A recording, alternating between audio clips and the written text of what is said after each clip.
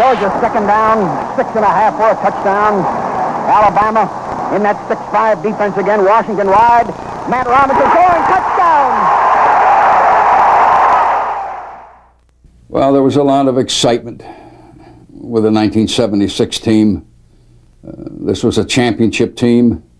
Alabama was supposed to be the team that uh, we had to beat that year, at least as far as the conference was concerned, and we did. And I remember the game was played uh, at our place.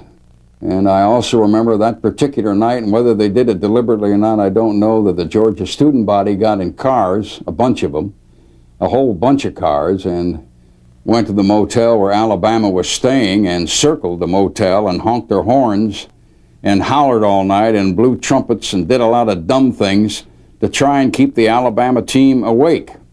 I don't remember how well they succeeded. I was told many years after that that part of the Alabama team came out of their rooms and slept in the hall to try and get away from the noise that the students were making outside.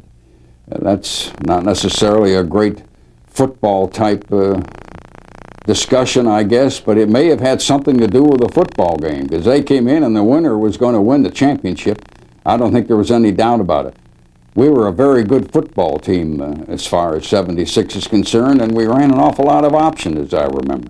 October 2nd, 1976, Bear Bryant and the Alabama Crimson Tide came rolling into Athens, looking for a victory that would lead them to a sixth straight SEC championship. But the junkyard dog defense behind Erk Russell's runs had different ideas, shutting down Alabama's vaunted wishbone attack. Georgia's up almost a 6-2. Rutledge, they chase him. They knock him down behind the line. Third and 20. Alabama back in the 40. 9.44 to play. They're in a slot. Got Nathan out there with Bolton on a slot. Rutledge back to throw. They rush him. They knock him down behind the line. And Georgia stole the ball. Slugger's running for a touchdown, but they'll blow it dead. Georgia will protest that too. Georgia thought they scored. They took it out of his hands. The crowd in the Georgia bench hollering out there again. With the game scoreless late in the second quarter, the Dogs win on a 67-yard drive to take the lead in the final seconds of the half. Georgia second down on the Tide 35 and a half. One receiver, put a man in motion. Tide rotates the defense. They hook it right over the middle of Davis, complete for maybe seven or eight yards. Matt Robinson, a low bullet right over the middle of Davis. Georgia, one wide man. Alabama in a 5-2. They give it to McLee to the 25. He went down to the 20. Kevin McLee got seven or eight yards close to the 20.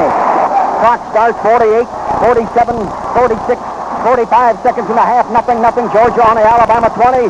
Robinson going to give it. Rayfield Williams shoots it right tackle and gets four or five yards to the 15 and a half. Georgia wide slot right. Alabama sort of a 5-3. They rotate the line. Move cornerback up with a man in motion. Robinson passing to Davis. Complete on the 7, the 5, down to the 4. Watch the clock. Georgia on the three and a half yard line. Goal to go. 18, 17, 16, 15, 14, 13. Robinson looking. There's a man open. He threw it too high. Incomplete with 10 seconds. They're going to go for that touchdown. 10 seconds. Davis and Washington slide to the left. Alabama in a wide 5-5-1. Robinson coming around to the right. He dove at the goal line. Touchdown.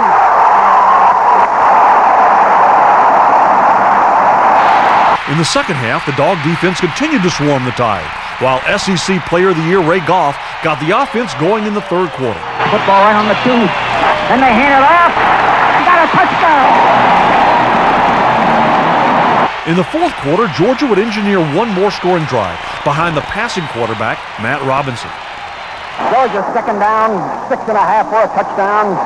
Alabama in that 6-5 defense again. Washington wide. Matt Robinson scoring touchdown.